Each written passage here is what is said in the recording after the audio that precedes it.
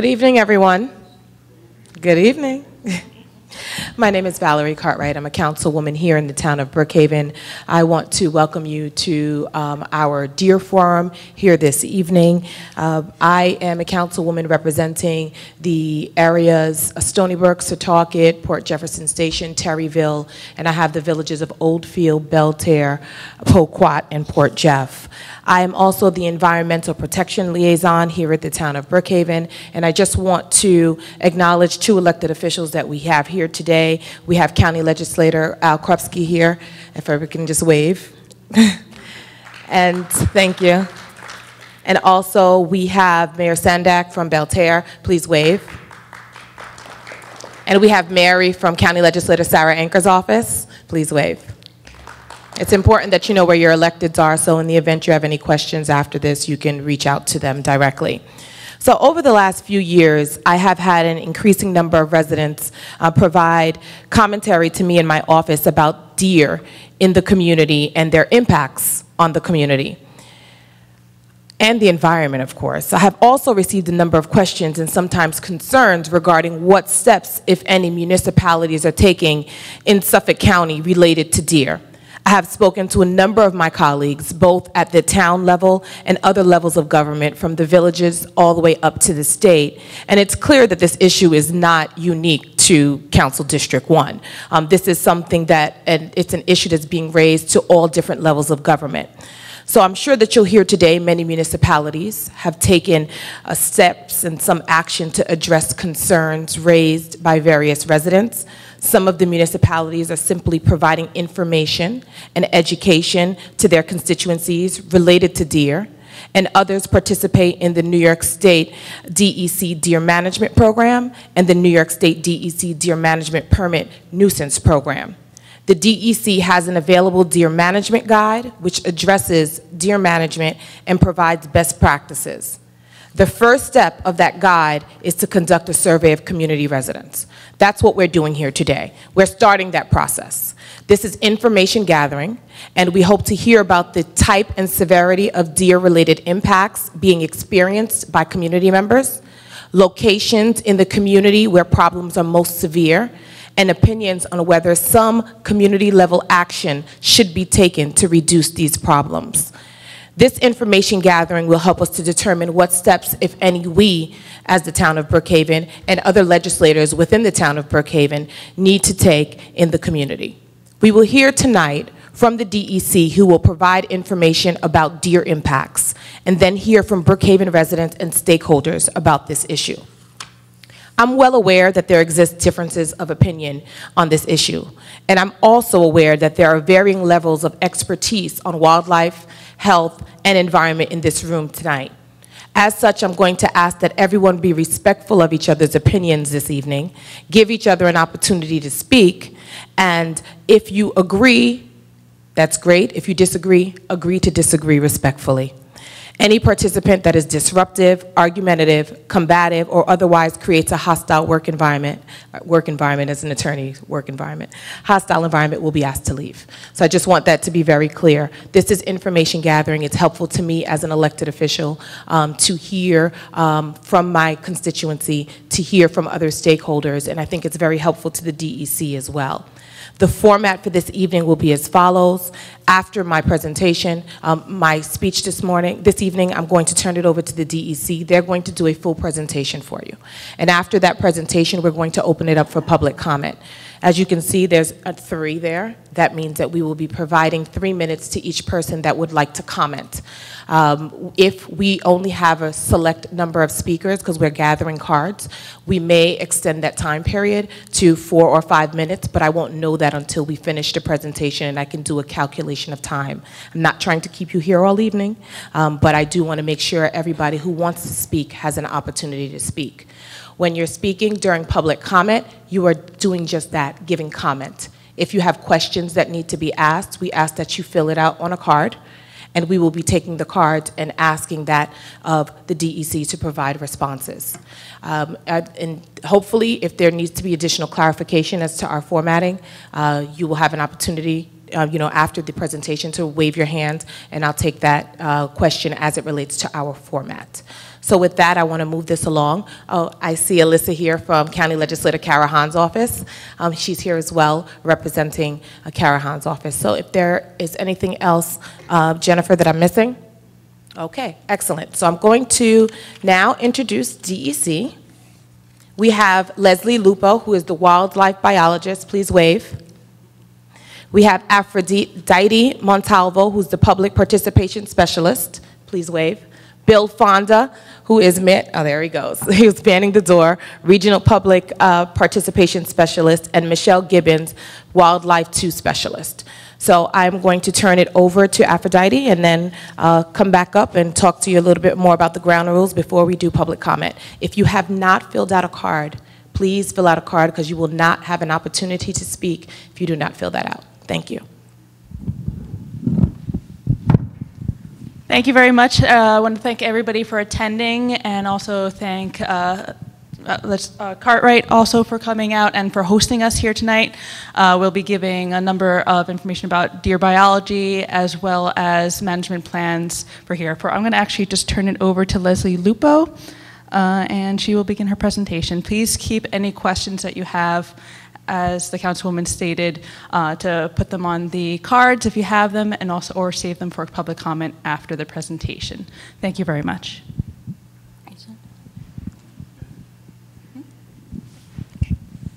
Good evening.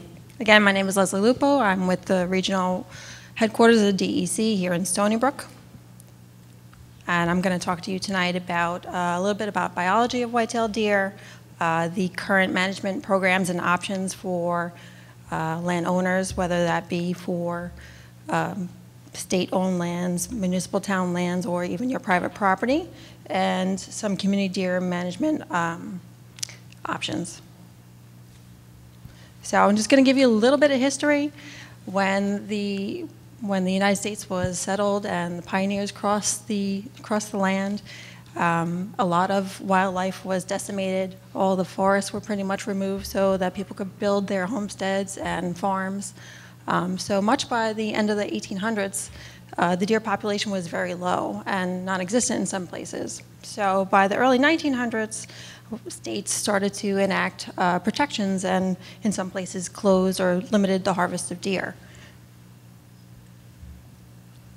So fast forward, um, deer have evolved as a prey species and they reproduce rather quickly. In most cases, they're going to have two fawns per year. Um, they're polygamous, so males and females are, are not picky. and they have a high biotic potential. So no management means more and more deer. There are very limited in the amount of predators that we have here. So like I said, they've evolved as a prey species. Um, if we had the regular host of predators, we'd have mountain lions, wolves, uh, potentially bobcats, coyotes, all these things helping to reduce the population, black bear. But those things have done, since been or never occurred here, so nothing's really been checking this population other than um, human hunter harvest and potentially our car vehicle strikes. So as the councilwoman mentioned, they are a threat to biodiversity. Um, they are impacting our forests. They eat the saplings before they reach maturity. Um, this also impacts biodiversity. So the ground nesting birds or songbirds that utilize those spaces don't have places to have safe nesting and reproduce themselves. So they are a huge um, changer of their own habitat. We also look at uh, the impacts of um, our economic impacts, and those are in the form of deer car accidents causing thousands of dollars in, in vehicle repairs or total vehicles. as far as um, agriculture is concerned, a lot of our farms um, experience increased damage. Even in our homes now, uh, the deer are eating our landscape plantings and, and bringing um, ticks closer and closer to our homes. So those are all impacts that are not just, uh, people would think that this was uh, an issue for farmers, but it's not just an issue for farmers anymore. It's, it's a residential, urban, suburban problem as well. So most people think of, well, wildlife, they kind of control themselves, right? You know, they're going to eat whatever is out on the landscape, and then there won't be any more food, and it's self-controlled. Well, this isn't necessarily true in this case. So say if we're in the Adirondacks and the deer strictly just lived in the forest, yes, they would eat such and such amount of vegetation, the vegetation would be gone, and there would be no more food. And then the, the population would be limited in that way. But in our landscape in Suffolk County, we have a mix. We have urban suburban area, we have um, forest and farm. So the carrying capacity is not checked. Deer will just eat a bit here and then move on to the next property, eat, eat your hostas and eat your azaleas and move on to your garden and then go into the woodland at night for cover and then go into the farm next door. So there really is no check as far as resources on the deer. So there, unless we're removing them, there is no limit in car carrying capacity. So some of the management tools, um, both lethal and non-lethal. Lethal, we, we look at recreational hunting. There can be more organized hunts, and we have a deer damage permit program where if you're experiencing uh, damage to your property, you can apply, and if the uh, case warrants it and it's legal to do so, then we will will issue a permit so that you can remove deer on your own property. And then non-lethal um, tools are fencing, scare devices, capture, relocation, and I will get a little bit more into these. So again, recreational hunting is really our most utilized tool throughout the whole state, not just here in Suffolk County. Uh, it's a long-standing tradition. It's safe and effective. We have a huge bow hunting culture here on Long Island, which is uh, very safe. We have no, no records of any major incidents other than people getting injured on their own equipment. Um, and it's really the only free management tool. And in that I mean that someone else isn't paying, the hunters pay, but the property owner is not paying. So we published our deer management plan in 2012, and in that we indicated some impediments to management on here on Long Island. So one of the major ones is access. There are so many lands that are not accessible to hunters. Certainly, we have um, state lands, and when I when I say state lands, I mean DEC lands, um, which we allow hunters on. But not all entities of the state or the county or in municipal lands uh, allow hunter access. Um, back in 2012 when we wrote this, the setback for archery hunting was 500 feet from an occupied dwelling, and we had a whole bunch of uh, extra procedures through our January shotgun season. So we required town permits. There was no no archery season concurrent to the firearm season. You couldn't hunt on the weekends. There was a 10 acre um, requirement for a parcel for, for firearm hunting. And again, we have no hunting season in Nassau County, so that problem builds there as well. So with that, um, in 2014, we had some of these were able to be changed for the better. The 500-foot setback for archery hunting changed down to 150 feet from a dwelling. And some of the requirements for the January shotgun uh, season change as well.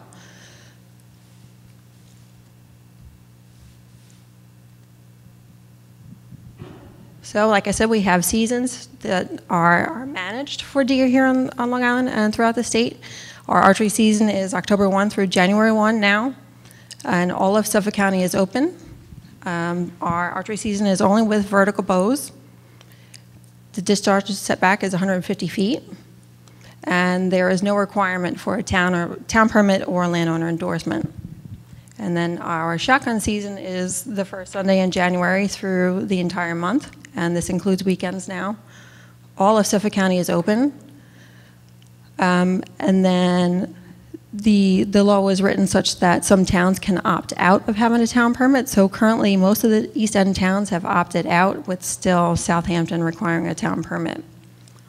And then our legal structure for tags pre- pretty much allows for unlimited harvest of, of antlerless deer here. So as you can see, um, over time, the, the harvest has been increasing and increasing to go along with our increased population. Um, and then I'll just say that the years um, after 2013, that the, the harvest is still continue to increase about roughly about 32 to 3,400 within the last five years. So, like I mentioned, that some um, municipalities can help their their citizens by um, organizing hunts in their area. Uh, this can help belay some fears in, in this way and connect landowners with hunters. The municipality can uh, ask hunter for a proficiency test, um, do background checks, and can also um, administer additional training in order to make the residents feel more comfortable. This is not necessary, but it, it sometimes it helps um, landowners to feel more comfortable having hunters on their property. So like I said, I also issue damage permits for outside of the hunting season, and this is property specific. Uh, they're issued in the cases where damage is occurring or likely to occur. And we issue these permits generally for antlerless deer, and that is because we would like to gauge um, removal on the female level. Females um, will, are the breeders, right? No matter how many males are out on the landscape, they're going to continue to breed. So it's more effective to remove females off of the landscape. And again, like I said, these permits are generally issued outside of the hunting season, and these are by licensed hunters. Culling is also just targeted removal with a permit. And you could utilize um, either different companies. There are nuisance wildlife control operator companies now, or USDA Wildlife Services. So this can be effective uh, in that you may have people that are more trained, or you may feel that they're more trained. Um, but this can come with some cost to it. But there are there are nuisance wildlife con control operators that will do this for a volunteer to be free as well. So something we've been looking at, um, especially in suburban urban areas, is capture and euthanize. Um, this definitely comes with um, extra considerations. Um, that you would think that this would be more in places where you can't discharge a firearm. So to trap and then put the animal down with a captive bolt which renders the deer unconscious. Um, but this does, it is complicated in that the, the person doing this would also have to have drugs on hands, and that means they would have to have a drug license to then put the deer down in the event that the captive bolt didn't, didn't work properly. So I'm going to move on to some non-lethal alternatives. This could be fencing, and there's a multitude of types of fencing, whether it be chain link, plastic, woven wire, and electric. Um, in, in any case, the fence needs to be at least eight feet tall. Deer are really great jumpers. Um, and fences, although they might solve your problem protecting your property, it does push the deer out, either out into the roads and onto your neighbor's property. So it's, it's, it's not a cure-all there are some scare tactics that scare tactics that work on limited basis. There's um, deterrence in, in repellents. These things need to be um, an approved pesticide, but they also come off with any, any rain or humidity and have to be reapplied frequently.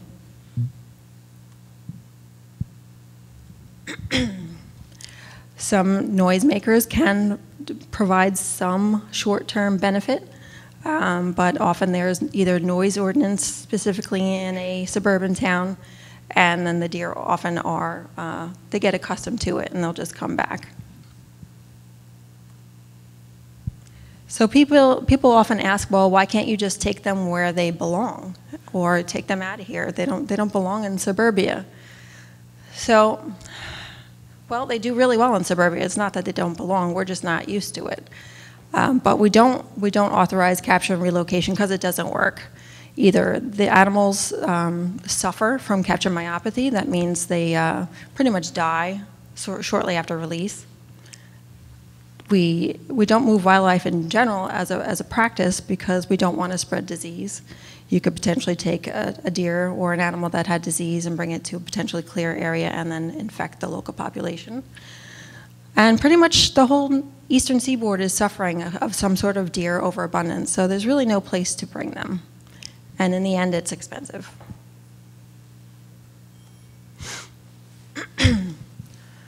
so I'm going to talk about some uh, fertility control options.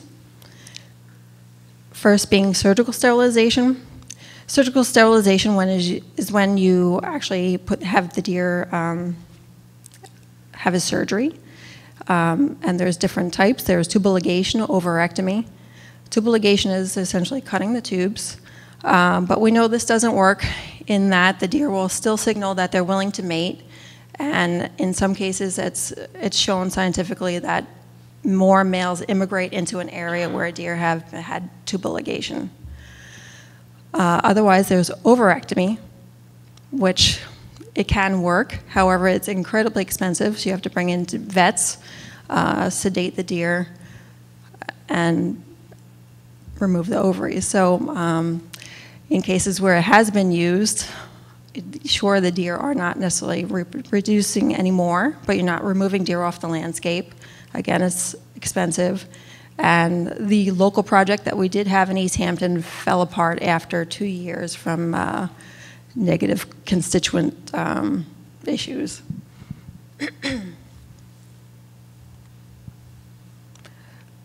Another method of fertility control is chemical contraception. So there's research going on, um, mostly with the drug PZP, porcine zona pellucida. So it is a protein that pretty much blocks fertilization of the egg, um, which also comes with its own issues. These, it doesn't remove deer off the landscape. This is a research, thank you. These are only conducted via research. So we, the research that has been conducted thus far, um, we haven't learned that deer can be treated on the broad landscape. In the few places that it has been used in a very small area, fenced in area, or a small island, there may be some benefit to this, but it's not practical on an open landscape, such as a, a town like Brookhaven. The other considerations is that pretty much 90, 90% of the females have to be treated, and with these drugs, they have to be treated multiple times. So um, research is still ongoing. Maybe it will prove to be something beneficial in the future, but currently is, is not an answer to, to this over deer overabundance problem. so in any non-lethal management program, we would also like to see some sort of lethal management. Again, like I said, there, the non-lethal management, there is there's no deer being removed off the landscape. So um, if you're identifying problems, those problems are not going to go away.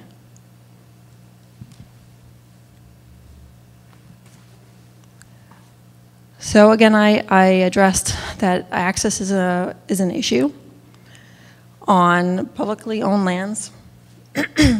such as DEC, DEC lands, um, anything that is suitable for hunting, DEC has opened it. In some of Suffolk County, state parks is, is open to hunting. Um, some of the parcels that are here in Brookhaven, Brookhaven State Park and Wildwood State Park have been open to archery hunting in the last several years. Um, the county has a robust archery hunting program, and they continue to add properties every year. And the town um, does have a few adjacent properties to DEC land that we manage cooperatively with the town. So, but that being said, a lot of the lands are held in, in private ownership, so this is an integral part in deer management.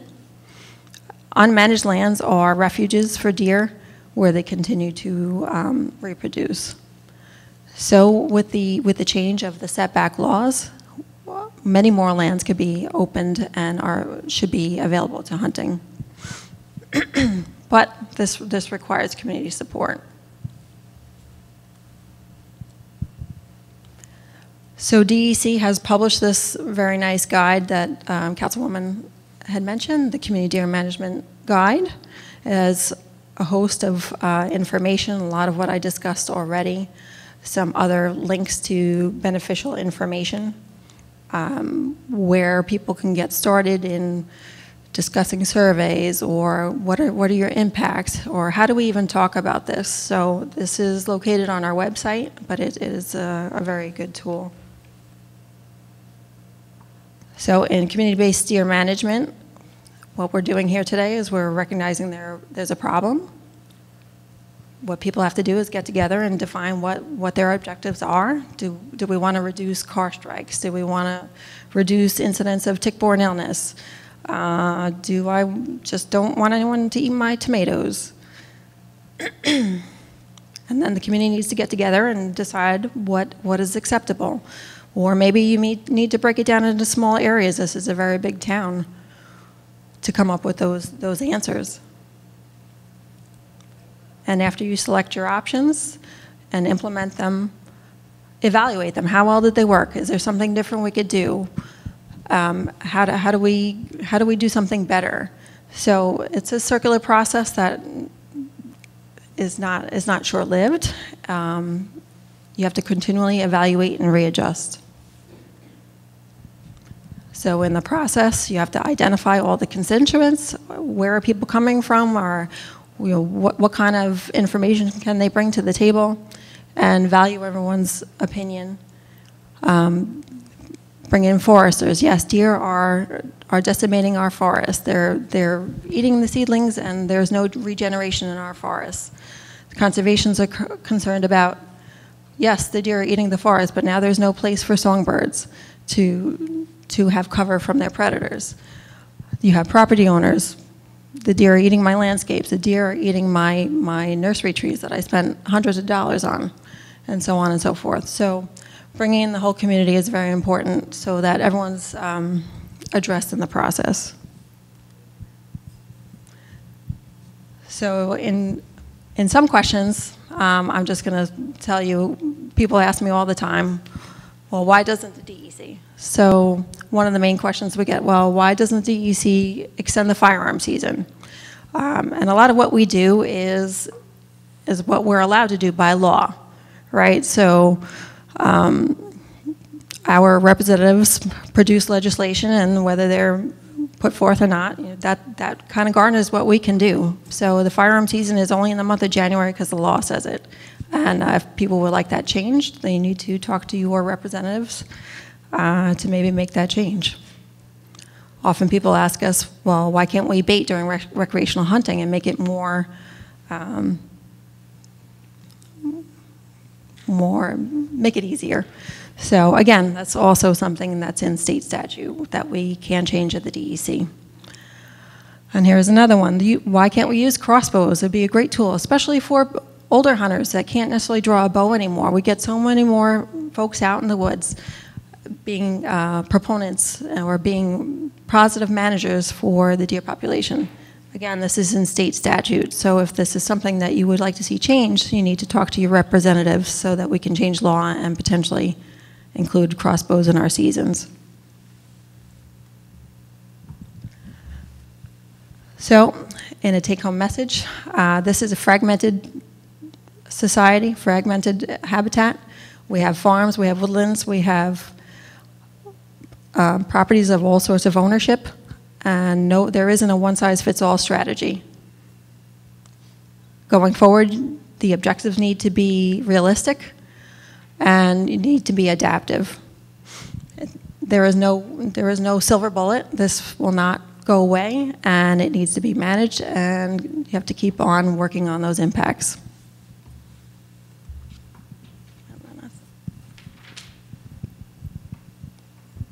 All right, thank you very much. Uh, that concludes the actual uh, program for our DEC. Uh, when you're actually um, filling out your comment cards, I do request that you try to write them very legibly those and your questions because I'll be reading them and I don't want to butcher anybody's questions. I'm going to hand it over to Councilwoman Cartwright as well. Thank you. So the blue card is for comments, the yellow card is where you're going to be writing out your questions. And um, I'm going to just repeat again the ground rules. Please, we are going to give you a time limit. Stay within your time limit for your comments. And then afterwards, we'll have an opportunity to put forth the questions before the DEC. We do have a town representative here that can answer some town questions if you have that as well. So Jennifer Martin, who's my legislative aide, will be back here calling out your name and let you know what order you'll be going in. And I I believe there's some hands behind you too, Bill, that would like cards over there. Okay? So, um, again, we know that there are differing opinions in this room.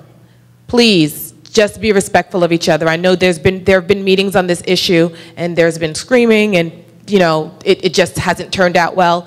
I don't want that to happen here. You're doing yourself a disservice if we are not respectful to each other, because I, as an elected official, cannot take the information to my colleagues to see if there is something that we can potentially do, if at all, that is what comes out of this session.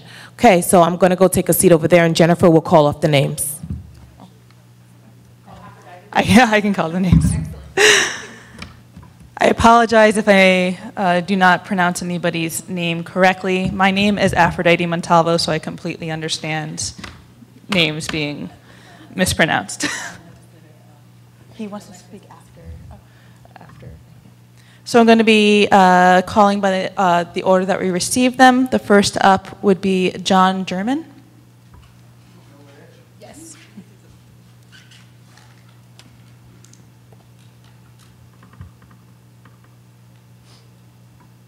My my name's John German. I'm a lifelong resident of a Brookhaven hamlet. I live right next to Wertheim's uh, Preserve.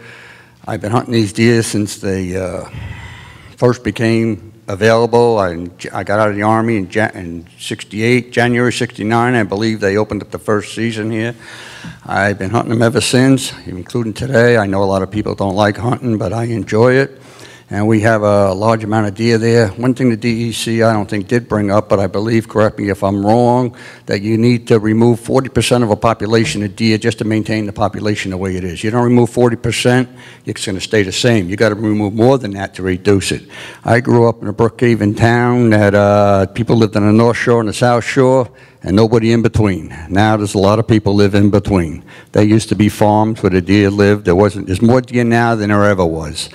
I would like to see, I think Brookhaven Town is a part of the problem because every time the Brookhaven Town acquires large tracts of property, the town, the first thing they do is put up signs saying no hunting. Now, I have plenty of places to hunt, but it certainly limits a lot of places. They have small plots of land here and there with houses all around them, and deer have a sanctuary and they move out to the houses to eat. I would also like to see, for my own benefit, since I hate to admit it, but I am a senior citizen and get a senior license. You have to be 70 to get that. If we could use crossbows, I would like it. But if we can't, we can't. That's in state legislature. But aside from that, I'd just like to make a comment that uh, I'm in favor of removing the deer, and I'd like to be the guy that does it. Thank you.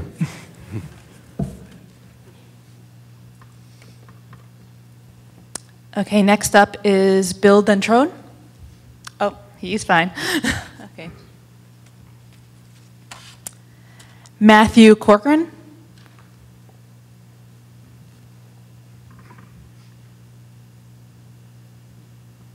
My name is Matthew Corcoran. Uh, I'm also a hunter. Um, And just like John said, uh, I think here in the town of Brookhaven, that uh, access is a a real problem.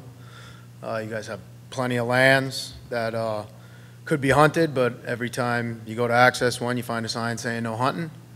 And, uh, you know, you can't get rid of the deer and get the problem to go away without taking, taking care of the problem. So uh, if my public comment could be anything, it would be uh, more access to uh, town land, and uh, that's about all I have to say. Thank you. Thank you.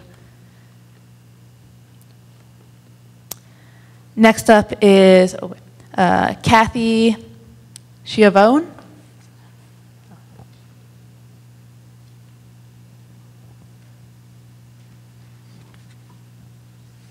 And following Kathy will be Elaine Moss, just so you're aware. It came to my attention recently that the uh, USDA uh, Animal and Plant Health Inspection Services Wildlife Division was not uh, aware of the forum this evening, and uh, my contact there expressed frustration in not being asked to participate. Is there a reason why? Oh, currently, we're doing comments at the moment. Um, We can note that your question, and following the comment section, uh, we can work on that question. Thank you. Thank you. And Elaine Moss is next, and that'll be followed by Stephen Goldstein.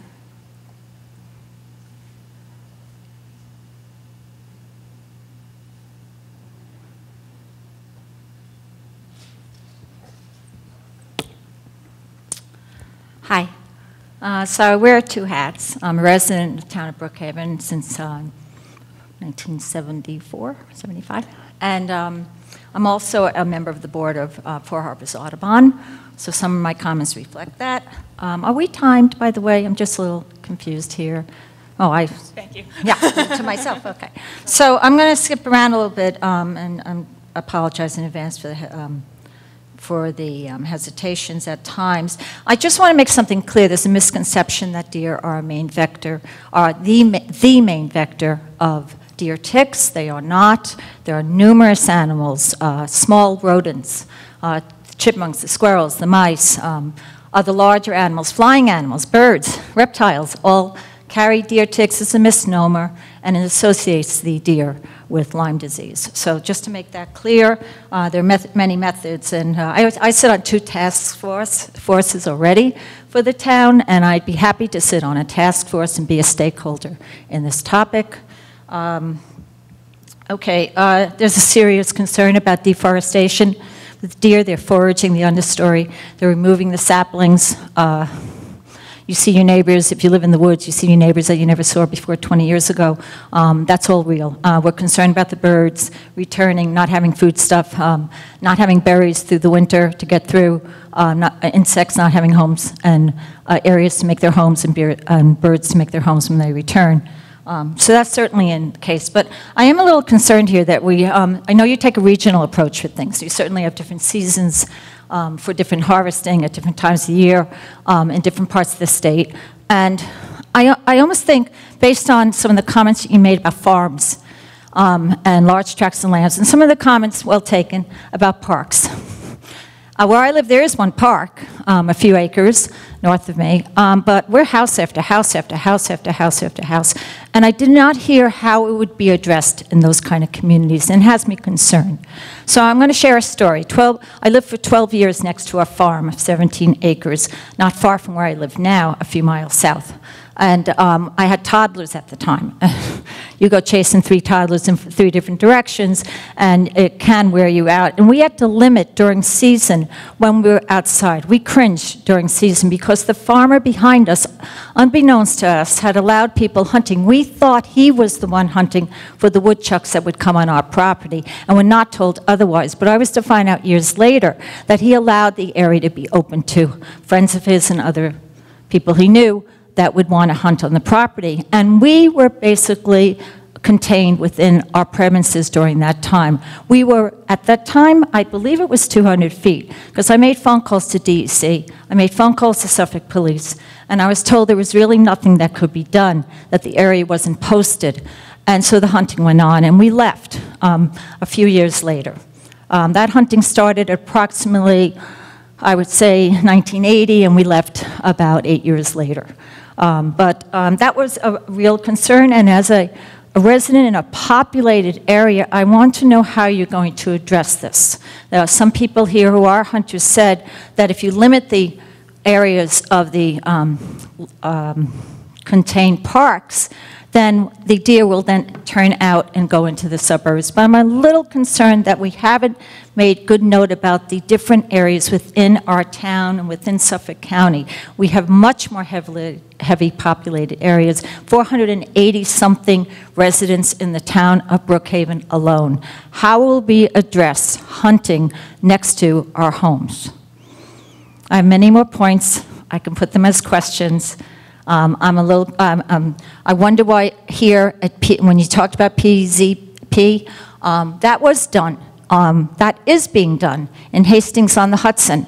They're using PZP. They have a um, 75%, sorry, 90%, I mean, an incredibly high reduction of deer in just thought. five years.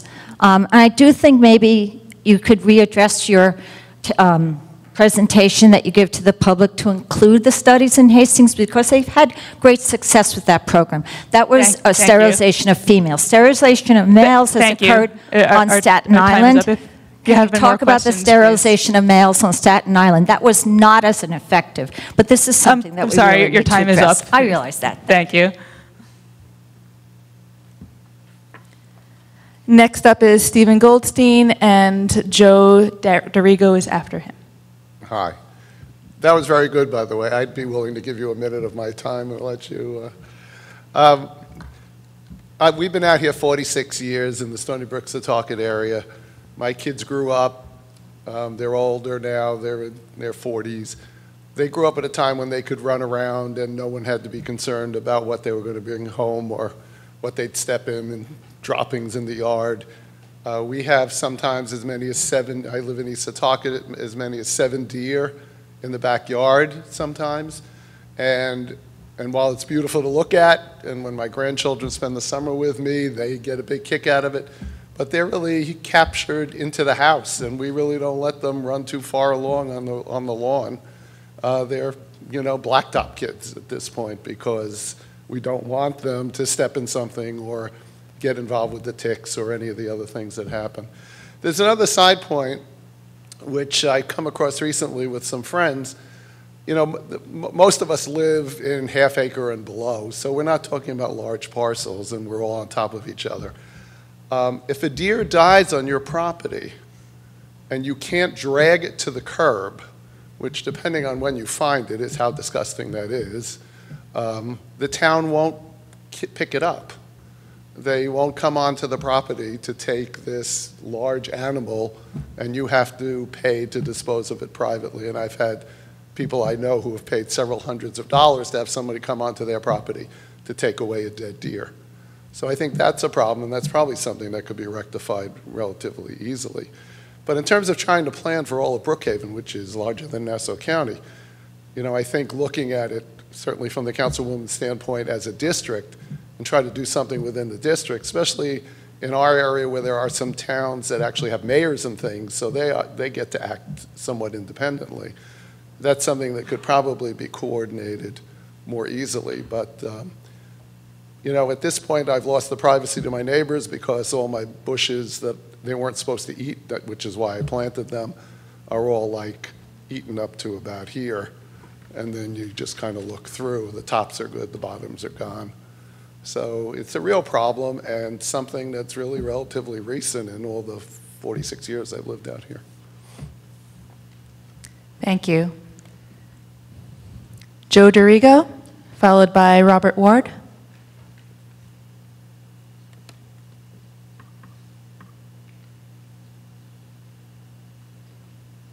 Good evening. My, uh, my property's been ravaged, like uh, probably a lot of folks here tonight. And uh, a few years ago, I was nearly killed on the road by five deer running right in front of my car. Um, I called the town, I spoke to a town councilwoman, was very sympathetic, et cetera, but bottom line, she- I think, as I recall, what she said to me was, it was a state issue, nothing, nothing a town could do, um, which was frustrating, but that's where it was left. And then uh, tonight, if I understood the presentation correctly, I thought I was hearing pretty much that uh, there is nothing that can be done, short, ter- uh, long-term, that's effective, other than culling or drastically reducing the animal population in the area. Contraceptive, contraception doesn't work, et cetera. Um, And then if I, if this gentleman is correct, who spoke before, that it, that means getting rid of 40% of the population, that sounds like a huge undertaking and a huge number. And if it's true that the state is the only entity that can help here, then I'm wondering uh, about whether the town has a, some kind of role there to play in terms of interfacing with the state, or mobilizing opinion, or helping legal action to form, that kind of thing. Now, I don't know if, I- if my assumptions are, are correct, if I'm, I'm being fair to, to everybody, but uh, that's where, that's where I'm thinking right now. Thank you. So Robert Ward, followed by Tom Gulbransen.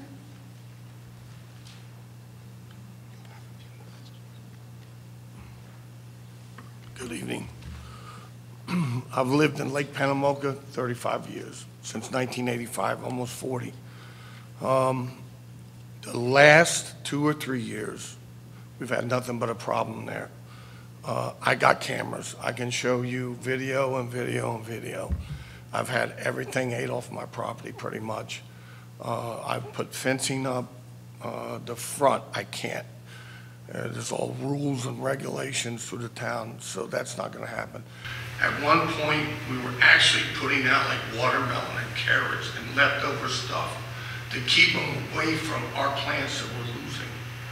I mean, every night, if it's not every night, we can, we can film it to you. It's every other night, they have their spots where they go around. Um, I'm talking about losing money. Uh, The taxes go up, your property goes down. I'm a hunter myself. I've been hunting for 50 years. I got my first gun when I was six years old. Um, I believe in some hunting. I don't believe in just cruelty. But something has to be done.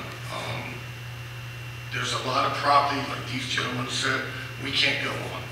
There's always a problem with somebody, or they, you know, the DEC's up your ass on it.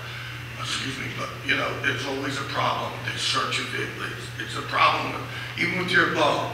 But, um, it's just, it seems like it's a turn off more than a turn on because it, it's getting to be where it's out of control. Um, my uncle, I remember years ago when I was a kid, and you, probably gonna laugh me off the stage, but I remember in North and South Carolina, it was so bad there they, they actually had dogs, not big old dogs. Everybody hunts with dogs. I don't care. if They still hunt here with dogs, uh, bird, geese, uh, you know, duck, whatever. But they used to push them off the property like they do the, the geese on the golf course and everything. It may help out with the animal shelters too, if you get guys with the GPS and, and learn how to just to push them away, because they don't care, they're gonna come on. Um, that would be something that the DEC's probably gonna laugh all the way to the bank on and say, no way, but it's something there that would keep them away from people's properties because they're out of control. Uh, with the deer strikes and the ticks, yeah, we had that problem a few times, but it's just coming on and eating your property away. And, um, it's out, you know, there's so many regulations and everything. And I think, I'm an old guy now too. You know, I was in the Air Force, I hunted all my life and, um, the crossbow's good. It puts a good shot on and you're not chasing them around. Uh, I've seen deer where you gotta go the next day, find them, this, that, and everything else. The crossbow, you know, it, it, everything's gonna be regulated, but I think there could be more done within and start thinking out of the box to the in the box, like the old time. Let's get outside the box a little bit and start thinking of some more stuff. We don't wanna be cruel, but I think there could be a better way of doing this. Um, cause there's a big argument and I'm getting beat up myself. Um, also, um, Kellogg State Park in Smithtown, I'm retired from there, that's a lot of good area to hunt. Uh, I don't see any hunting in there on both sides of the road there. That should be opened up too, because there's a lot of deer strikes there. And speaking of deer strikes, is there a crew that comes around and picks the deer up?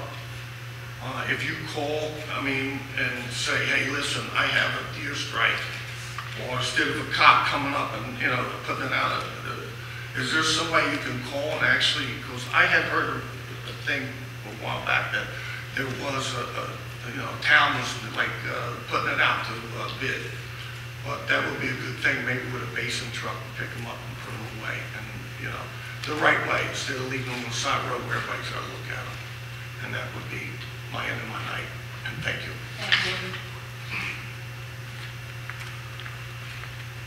And Tom Gulbransen, followed by Richard Green. Good evening, Madam. Thanks for having this meeting. And as for presenting this with data. Uh, I'm going to speak as a resident, Setauket, 22 years. But full disclosure, I'm the chairperson of the Council of Environmental Quality for Suffolk County, where we have a vector control program, which has recently begun to include a section on um, tick-borne uh, countermeasures or risk mitigations. But as speaking as a resident, just to share, uh, I don't own a gun, don't own a bow. Um, I used to be on the Environmental Conservation Commission of this little village, and it's kind of against the idea of uh, wiping the elk population. Then I started to realize, yeah, it's got to get measured back to some level, but we could never find a number, like how many deer should get out of that? It turns out there is a number, the density of 17, and I don't know what the units were, but Fish and Wildlife and Fish and Game have a number in mind. So now we're going to try to use that to say, right, well, are we getting there or not? Um, I'd like to ask a question, but I won't, so I'll make a comment instead. I can It's write meant to be a question. So my comment is, I think the DEC should provide a little more detail. But It was good to see 3,400 hits, that's a, that's a number. It would be great to see that at a scale that we could deal with in the neighborhood level. Because if my village is taking a lot, but nothing is happening next door, we know that the populations fill in and actually bounce up higher. When you cull down, population bounces higher, which is ridiculous, but it's unfortunately the case. So if we knew that this village was doing a pretty good job 12 permits turned into 15 that were taken or 42 that were taken. If you see that number, it would give us some hope because last summer I hit three um, positives at medical hits. Turns out one of them was false, but I ended up coming out with two diseases and it took five months to get out of it. And now I am still not going over, but I'm looking to recruit bow and bow women and um, hunters onto our property because it's time to drop the population. But we want to do it in a manner that's a little bit mindful of some um, of the rest of the business. So I would hope that DC could describe to us what numbers we could see at a village level, at a town level, at a regional level, instead of just talking countywide. Thank you. Thank you. And Richard Rubin?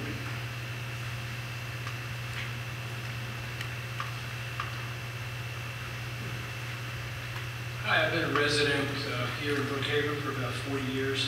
Uh, I've sat through a few presentations by experts from BNL uh, regarding the deer issue. The CDC right now has uh, identified about six different tick-borne diseases, and it's evolving and maybe more. Uh, I've had Lyme's three times, so I've got a dog in this hunt, so to speak. Um, Conservationists say that the old-growth trees, if we wiped out all the deer tomorrow, old-growth trees are done for the next generation. What you see is all that there will be. Uh, we're all affected by the aesthetics, uh, our yards being decimated. Uh, someone mentioned that all kinds of rodents, uh, birds and squirrels and so forth carry ticks. I'm sure that's true. But an entomologist from BNL said that the deer account for 80%. Even if we wiped out the deer, there's no guarantee you're not going to get sick, but it certainly improves your chances. We need to get things back in balance. It doesn't mean we all have to be wiped out. Um, the deer issue is going to take a long time to resolve. Uh, in the meantime, perhaps the town could look at modifying some of the fence codes to reflect the issue that we're, that we're dealing with. Uh, I think the fence code now is basically four feet in front and somewhat higher in the back, but it's not enough to keep deer off your property and keep you uh, safer health-wise. Just as the town requires uh, permits for a shed and a deck and whatever, they could require a permit for a fence. It has to be aesthetically pleasing. Uh, You have to demonstrate that it's going to be maintained. Uh, you know, you're going to soften it up with landscaping and so forth. And so I think we'll all agree that it's a little frustrating in how you're going to deal with it with hunting. I personally feel that there should be hunting allowed on all private property, and it's like mowing the grass. It's not, you know, large culls cost a lot of money. Uh, Brookhaven has done that a couple of times, it costs a fortune. The the vaccination and all that is prohibitively expensive. But there are plenty of hunters, many here in this room, and, and others that I know personally, that are more than happy to come to your property, uh, be very discreet. It's a win-win-win. They take the meat, you take the meat, the rest goes to Long Island Cares, and it costs nothing. Thank you. Next speaker is Irv Strobel.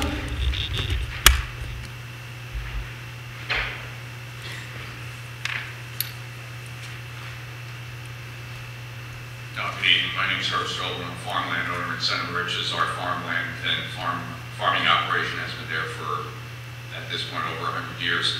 I remember growing up in the uh, late 60s through the 70s, never, ever having seen one deer. The first deer we saw on our farm was probably about 1990 or so. Uh, A lot of other people have spoke- spoken about the reasons for that. Um, All I know is what I see, and and certainly the last almost 30 years or so, it's been an ex- exponential growth uh, in the deer population and certainly in the Bridges area as as well as the rest of the town for that matter. Uh, I'm having now to invest in putting in over, well, over 6,000 linear feet of deer fencing around our farm at 7 or 8 dollars a foot. That adds up pretty quickly. Otherwise, there's no way I can continue farming. It's always a real economic issue for me. Um, as far as some other issues, uh, as I said, never saw a deer on the farm until 1990. Never diseases until the 90s. I understand, I certainly respect the case, the, the fact that there are a number of vectors uh, besides deer in terms of ticks and whatnot, but certainly there is a positive correlation between the increase in deer and, um, and disease, the incidence of human disease. And I think it's getting to a point where we're now approaching a real human health crisis, and I think that has to be weighed in the equation as well. So uh, one final thing I'll note is in terms of the town, uh, I would urge the town to do a very careful inventory of town-owned lands, uh, figure out which of those lands and properties could be hunted on, and open them up to, to hunting. Um, We've got a number of acres of town farm, excuse me, town-owned land next to our farmland. Um, You know, once I put up the fencing, I'm sure that town-owned land will be full of deer. So that's only going to push it to the neighbors. That's too bad, but I have to watch out for my, my own operation. So I appreciate the opportunity to share those thoughts this evening. Thank you. And our last speaker is Suffolk County Legislator Al Krupski. Good evening. Uh, Valerie, thank you for hosting this. It's very important. And I want to thank everyone from the DEC uh, tonight. I think you did a very good job here. Um, As a landowner and elected official, I've worked with you for many years on this issue. Uh, It's really important. You hear that, and I came tonight because I represent part of Brookhaven. And it's, it's, um, it's a complicated issue, but um, you're taking the step in the right direction. And, and looking forward to working with you on, uh, on future solutions. You heard about the access, the limited access here in Brookhaven.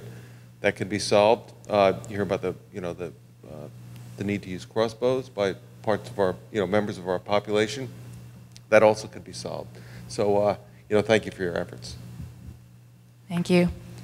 Uh, So if there are nobody else who wishes to comment, uh, we can move on to the question and answer section. We have, as a reminder, for questions and answers, uh, my colleague Bill Fonda in the center, he's holding around these papers.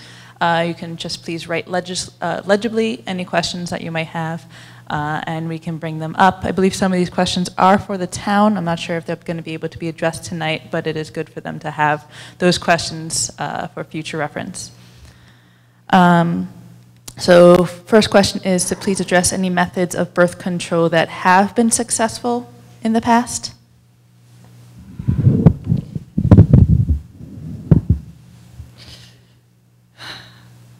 So, um, like I said, there, there is not a lot of successful use of birth control. Yes, in fenced-in areas where they're doing research on fenced-in deer, but out on the open landscape where deer have to be captured, sedated, treated and released, there is not much data to support this.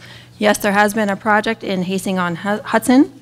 Again, it's a research project, so after three years, the researchers pick up and go. So now the researchers are here in Head of the Harbor. The first go-round of the treatment, we know at least one of those deer have moved from Head of the Harbor to Hauppauge, outside of the study area. Deer don't stay in one spot, they move. So that accounts for immigration and emigration. So when you have treated deer, you get more. You get ones that leave that are treated. So yes, there can be some success with surgical sterilization. However, again, that's very cost prohibitive and um, the projects that we have had, people have walked away from. A lot of people like to point to Fire Island saying that they were successful. After 10 years of trying to sterilize deer there, they still have a deer problem on Fire Island. So, um, Okay, thank you. And to um, address measures you tend to use within heavily populated suburban districts, not just where they are, there are fields and farms, mostly in eastern Suffolk. Um, I'm not sure if this is a DEC question. I think this is something that uh, needs to be determined through municipalities, but if I can let anyone try to address it.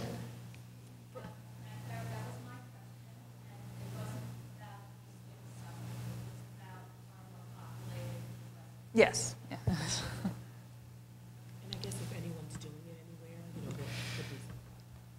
So certainly in more populated areas, it is a challenge um, with different uh, permissions giving, being given on across the landscape. So it is beneficial to say a certain number of landowners, if their land is too small to allow hunting on their personal land, to band together to make a large enough parcel.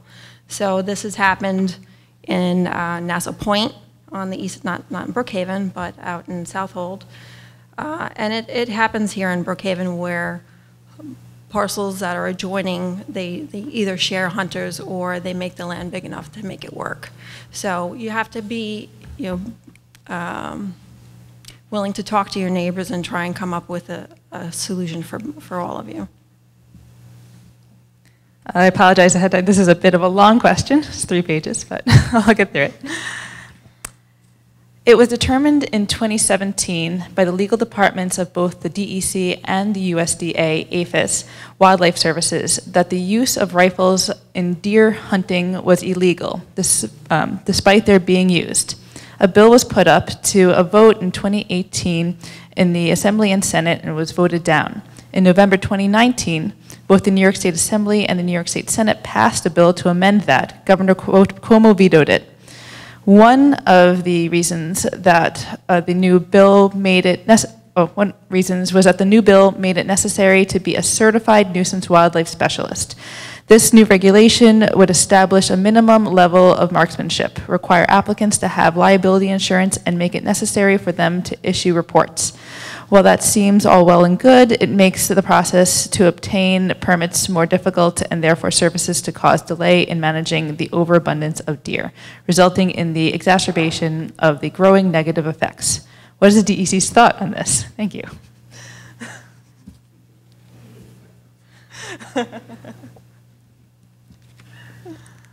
My thought on a bill being passed to allow certified wildlife specialists, what is, what do you, what's the question?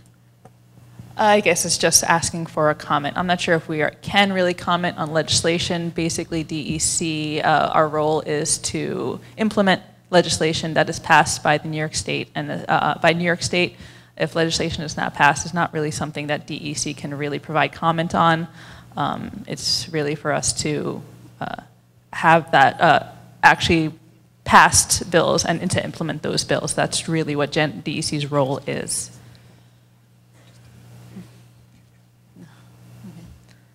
Um, there's a couple more questions. Um, I don't think that these are questions that uh, the state can address, um, but I can put them out. I don't know if there's anybody in the town or uh, that can address them, but I'll put them out there.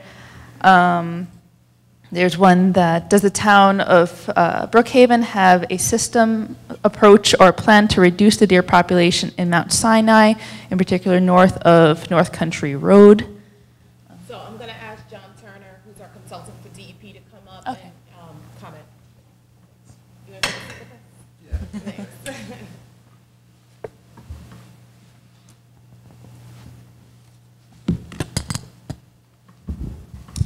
Uh, Good evening, everybody. Uh, To answer that question is, we have not played much of a role uh, with regard to deer management.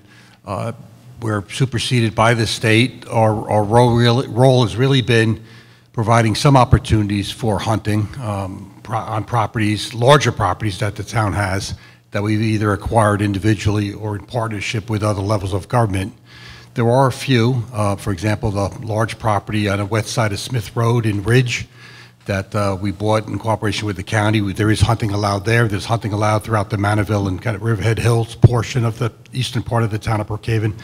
But most of the acquisitions the town makes uh, involve relatively small parcels of property, often embedded in suburbia and that really aren't conducive or suitable uh, for hunting opportunities. As it relates to speci- specifically for Mount Sinai, we've not done anything with regard to trying to, to control the populations of deer there. Just like, quite frankly, we haven't had a role, nor do we have a responsibility or direct involvement in trying to manage uh, deer herds. That's the the province, of course, of the, of the state. So um, that's really where things stand. I think this is another one for uh, the town. Codes for fencing were not written when deer were a problem. Codes can be amended. Shouldn't deer fencing be allowed around homes to protect families as well as farms? We think that makes a lot of sense, right? But I, and I stand to be corrected, Herb, you may know the answer to this. I think we amended the town code years ago to make it easier for uh, farmers to have deer fencing put in.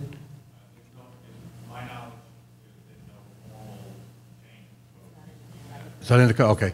Well, certainly, I know the agricultural committee talked about it years ago. I thought it that it was done to actually kind of expedite the ability to put in. Uh, That's something we should take a look at. And, and same thing with regard to some other uh, person that spoke with regard to uh, residential settings to allow fences to go as high as, as six feet. I'm, I'm sure that the uh, councilwoman would be interested in taking a look at that to try to help out homeowners to reduce damage from, you know, deer browse on their properties. And is there a contact person who can speak with village regulators to ensure local ordinances support the hunting flexibility improvements described tonight? Uh, I think they're asking if uh, somebody in the municipality and may- perhaps with the state can speak with the villages um, and to help, I guess, organize um, a response together in order to help to implement these types of changes. Yeah. Well, it, it may be someone within uh, the Division of Land Management uh, that would be, we're certainly responsible for managing collectively the lands that are acquired uh, in, in the town. Uh, So it, it would, it would be myself and my other colleagues, the staff in the, in the Division of Land Management, which is within the uh, Department of Law. And I can give contact information, both email address as well as phone number if you like. to- We'll do that before you leave. Yes, I'll do it before, or I could do it now, but, uh, oh, okay. Uh, Then my number at the, the town is 451-6417, and email address is jturner, lowercase, at brookhavenny.gov. You can also reach out to two other individuals in land management. That would be Luke Ormand, O-R-M-A-N-D, and John Lessler, L E S S L E R. I don't know their numbers because we all share a cubicle and I just turn around to look at them. I never call them on the phone, uh, but their email address is the same thing, It would be just jlessler at brookhavenny.gov and L. Ormand uh, at brookhavenny.gov. And again, we'd be happy to discuss this issue in greater detail with you. Uh, Another question is, uh, do you have an estimate of the deer population in Suffolk County or DEC Region 1? And just for everybody's edification, DEC Region 1 consists of both Nassau and Suffolk County. So in general, we would say we have some extrapolated idea. Um, however, those take some huge leaps. We don't manage to a number of deer, we manage to the impacts. Because there isn't a magic number that says once we reach this level, the problems are going to go away. So if you're keeping data of car strikes, tick-borne illness, damage to your property, and those things are going down, then you're headed in the right direction. So when those impacts start getting to a more desired level, then we would say the population is managed. So there's the methods that are used in, in determining deer population are flawed. Uh, there's been municipalities that have done uh, expensive flare flyovers uh, to get a deer population number. That number was exceeded in the recreational hunting season that year, so we know that it was wrong. Um, so they're really, it's really a bit of a waste of time to be counting the deer when we know that they're causing problems and we know we need to be reducing them. I think there were a couple of questions uh, during the comments as well. I'll try to uh, address some of those. Somebody did ask if there was a crew around or somebody to pick up uh, deer strikes or dead deer on their properties. Um, and there's none of that from the state level. Uh, I don't know if anybody in town wants to address. Yes, if it's a town roadway, we, it- Highway Department would come and actually pick up the deer from the roadway. But if it's on your private property, as was indicated previously, then we will not take the deer off of your private property. But I, I- did understand the concern that was raised by the constituent a moment ago, and that's one of the things I'm just going to talk to the Law Department about, um, amongst the number of other things that came up. Um, There was another person who was asking about uh, having some more detailed, I guess, asking about uh, deer per acre, not just in a regional aspect, more in more concentrated areas such as like how many deer should be available in a, a rural and a, su- a suburban. If we can do something of that nature, uh, I don't know if we can really address that at this time. Again, we're not really saying a number of deer is, is good for a certain habitat type. Um, Certainly, deer can be more, uh, there's more cover for deer in woodlands, but there's not enough food for deer in woodlands, so it's really a mixed, mixed landscape, and it really, yeah, I really can't answer that question. Oh, how many were taken? Oh, sorry, I misunderstood. Oh, I'm sorry. I, I misunderstood, Um, sorry. So the, the harvest is, is recorded every year, so, so it's down to town level, not, not municipality level, so, um, village or such. It's at, at the town level. Yeah, Brookhaven, it's been roughly around mid-70s, 800 for the last five years during the recreational season. Um, I think there was one other question about uh, if other agencies would be participating tonight. Uh, We were invited uh, by Councilwoman Cartright to help and to uh, make this presentation tonight. Um, uh, In the future, I guess, as the community management plan, if we, if uh, there's a decision to bring in further um, agencies uh, that could assist. I think that decision will be made in the future, but uh, we're following the community action plan tonight, and tonight was just kind of a gauge to determine how the community feels and to uh, provide some education um, for the community and uh, gain comments. Um, I do not see any further questions. Um, If anybody has any further Could I ask questions. a if you could- question? Oh, sure. And that is, do you, uh, can you point to other examples where this community process has gone through and what have been the results that we could look to for So, guidance? yeah, certainly, we don't need to reinvent the wheel. Um, Southold and Shelter Island have been working at this problem for a very long time. Uh, East Hampton in some, some cases, so what, what they've done or doing are somewhat different depending on their constituents. Um, Certainly, both Shelter Island and Southold have refrigerator units that, that their towns provide, and this helps uh, hunters that have already harvested and they don't really have room or need for more deer. It helps other constituents in their area to be able to pick up a donated deer. And then if those deer are not picked up by local residents, then they bring it into food donation. So it is a huge benefit to those constituents um, to have a refrigerated truck. Um, some of the communities, um, they try and bolster some, some interest by their constituents, hunters, um, by having lotteries for more, more equipment. Um, so every time they harvest a deer, they get more entries into the lottery. So you know, yeah, maybe they're, they're done for the season, but um, they might win something out of it. So it is some, some some sort of incentives. Um, East Hampton, they, they publish, they have a very robust data set of where the car strikes are.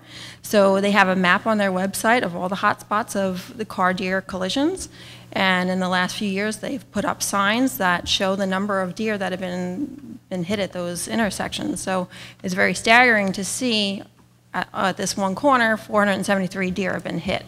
Um, so certainly they have a big transient population, a lot of people that don't, don't live there long-term or there for the summer. So it, it is helpful for people who are visiting the area to see that this is, this is a hotspot for deer strike. So yeah, everyone's working at something and what's, you know, you can take a little bit here and there. Um, just changing codes to allow, to allow more deer removal, that's, that's a big step.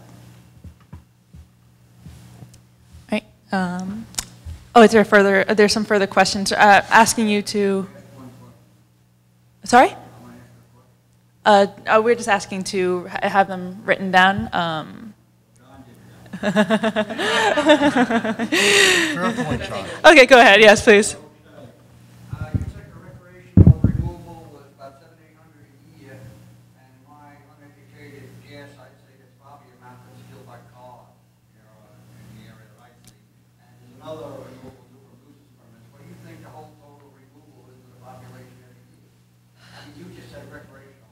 Yeah, so for Suffolk County, we've been roughly around 3,200, 3,400 in the last five years, and that's, like, I showed that one graph where we were climbing, we were below, below like around 2,800, but in the last five years, we've been, still been climbing. That's recreational harvest. Our um, nuisance removal is about a third to a quarter of that, about 1,000 uh, to 1,200 for Suffolk County. I don't, I didn't bring the Brookhaven specific data. There's, there's less nuisance permits in Brookhaven than there are in the other towns, but it is contributory. Well, that, we don't, we don't keep that data. Um, No, they don't.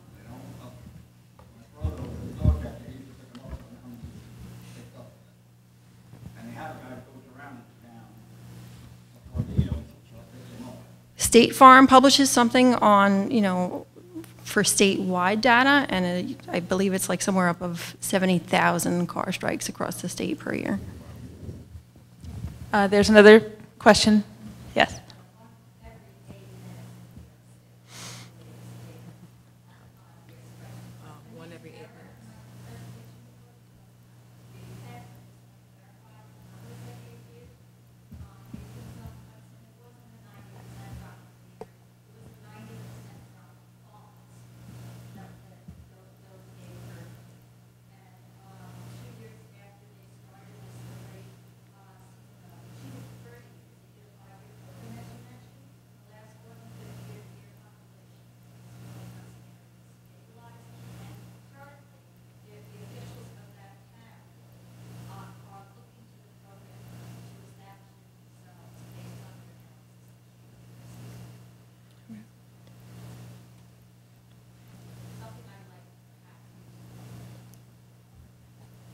Thank you. Okay, thank We have a couple more questions. Uh, yes, there in the front.